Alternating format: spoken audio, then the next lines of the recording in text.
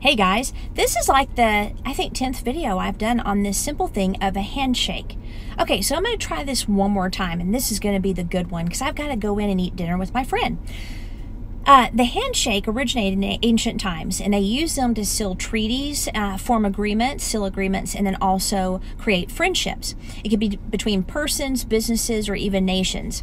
And it needed to be a nice, firm handshake because even the ancients understood that a weak or hesitant, or what I call a dead fish or limp handshake, was a sign of not trusting and not having competency or confidence uh, with the other person. So today, make sure that you have a nice, firm handshake because the quickest way to cause revulsion in another person is to give them a hesitant or dead fish handshake. Even if you're a man shaking a woman's hand, don't do that. It's just weird weird.